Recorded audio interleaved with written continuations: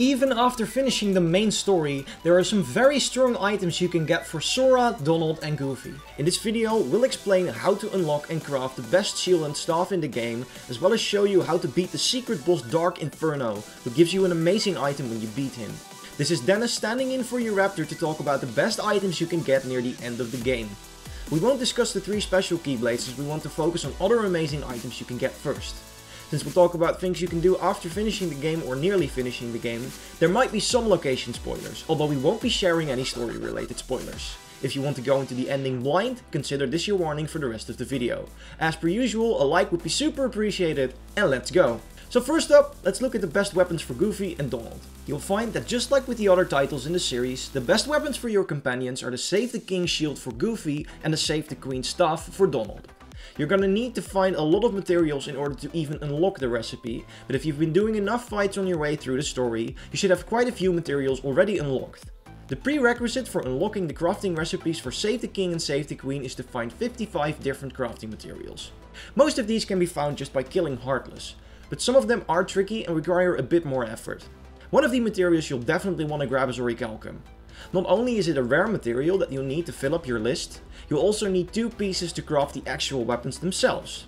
It can be found as a rare drop from shooting asteroids with your gummy ship, but the easiest way to do this is to go to Sandbar Isle in the Pirates of the Caribbean world and open up the chests underwater, like we discussed in our previous video. Next we'll need to gather some different crystals. These are the rarest kind of materials and only drop from some very specific Heartless.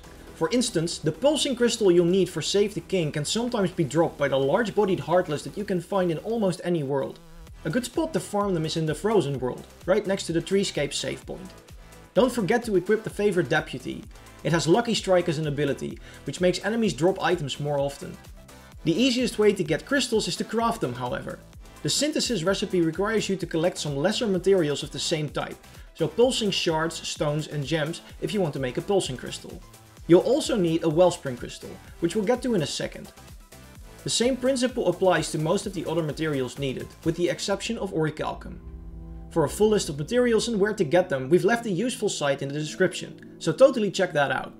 Regardless of whether you want to make the best weapons for Goofy and Donald, Wellspring Crystals are definitely an item you want to collect. Get as many of these as possible, as they are used in many synthesis recipes and are also used to upgrade your Keyblade to the maximum level. Wellspring crystals drop from Heartless, but only from some very specific kinds. The easiest way to farm them is to head towards Battlegate 12 in San Francisco, located on the top of the skyscraper right next to the North District save point.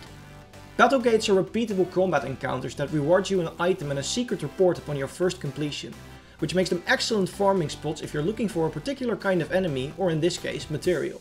Keep in mind that they only unlock after reaching the second save point in the Keyblade Graveyard. Fight your way through the waves of Heartless and keep an eye on the armored ones. Chances are some of them are going to drop a Wellspring Crystal, since they're easily farmed at this location and you get at least a couple while completing the Battle Gate. Repeating it once or twice should net you enough Wellspring Crystals. If you're really impatient, try equipping the favorite deputy again for some more item drops. Some of the enemies in this Battle Gate also drop Blazing and Lightning Crystals, both of which are needed for Save the King. When you've finally gathered all the materials you need, there is one other thing to keep in mind before crafting the best weapons for Goofy and Donald. Both Save the King and Save the Queen have a plus version, the recipes for which are unlocked after finding 58 different synthesis materials, alongside the recipe for the Ultima Key. These add or upgrade one of the skills of the weapon.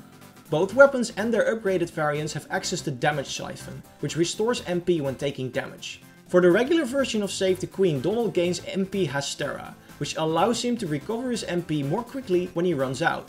Upgraded to the Plus version and you gain Magic Hastega, which is a straight upgrade to MP Hastera and makes your MP recharge even quicker. Goofy gains stun protection in addition to damage siphon, which makes him immune to being stunned. Both of these upgraded versions can be crafted with the exact same materials as the regular versions, but they need one additional material, a Hungry Crystal. The easiest and surest way to obtain Hungry Crystals is by completing synthesis challenges. There are two easy challenges that reward you with a Hungry Crystal. The first one can be completed by collecting 500 synthesis materials. By farming the other items you need for Save the King and Save the Queen, you are also working towards that goal. The second challenge that rewards you with a Hungry Crystal is to collect all different materials of the third tier, so the ones whose names end with gem. If you visit the Moogle shop after collecting these, you will be awarded with two Hungry Crystals. Now whether you want to craft the regular or plus versions is up to you. I recommend the upgraded versions, since they give you two amazing skills and you only need to get two hungry crystals to synthesize them, which is little effort compared to the rest of the work you've already done. If you have a problem finding 58 different synthesis materials though, you might want to get the regular Save the King and Save the Queen first. You can craft both multiple times on one playthrough, since none of the materials are finite, so having both is also an option. Now that we have equipped Donald and Goofy with their best weapons, it's time to get something special for Sora. The Crystal Regalia gives you 5 points in strength and magic, 16 extra ability points and the ability MP Hastega, which cuts your MP recharge time by 30%. This makes it viable for almost every player and one of the strongest accessories in the game. It's not easy to get though, as it is guarded by arguably the strongest boss in the game, the Dark Inferno. You can find him in the Keyblade Graveyard, where his battle gate can be found close to the Trials of Valediction save point. Dark Inferno hits hard and fast, has a very large health bar and becomes progressively more aggressive during the three phases of the fight. His moveset isn't very diverse though, so with the right preparation you'll be able to pull through, so let's take him on. First up, preparations. Of course you want to equip your best Keyblades and upgrade them as far as possible. Tips for that can be found in our previous Kingdom Hearts video on how to quickly upgrade your Keyblades early in the game. I found myself using the Wheel of Fate because of its high damage and strong moveset. All abilities that increase your survivability are good picks here, but some are nearly essential if you want to beat the boss. Equip as many damage control abilities as possible to minimize damage when you get to low health. Leaf Bracer to make sure your healing goes uninterrupted, and Second Chance and Withstand combo to make sure you survive his flurry of melee attacks. Block Replenisher is also amazing here, as we'll be blocking his attacks a lot and the faster we get our MP back, the more we can heal ourselves. Stock up on potions, elixirs or ethers, whichever one you favor, and equip your best items and accessories. Don't be afraid to borrow some from Goofy and Donald, as they won't be joining you for the fight. That's right, all that hard work for two amazing weapons and we can't even use them against the hardest boss in the game. This also means you won't have anyone to heal you when you get low, so keep a close eye on your MP and HP during the entire fight. Now for the boss itself, Dark Inferno has 5 moves and 3 phases. The moves don't differ from face to face, but they will succeed each other much more quickly as the fight progresses. When you first encounter the Dark Inferno, he appears as a pitch black Heartless with two massive swords and a fiery crown. Hit him enough and he turns purple, indicating that the second phase has begun. He will begin to chain his attacks together much quicker, giving you less space to damage and stagger him.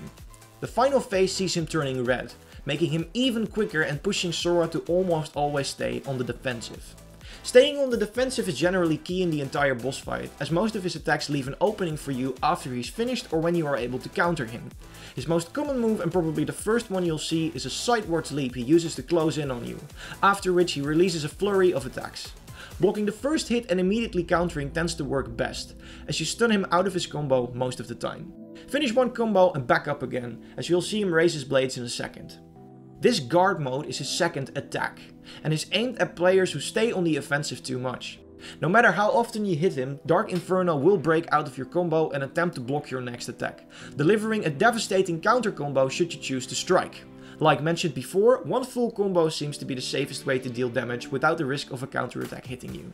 His third attack is a variation on his first, but instead of leaping towards you and attacking, he just starts slashing whilst moving towards you in a straight line. Blocking and countering is once again the way to go, although it is a little harder to stun him out of his combo.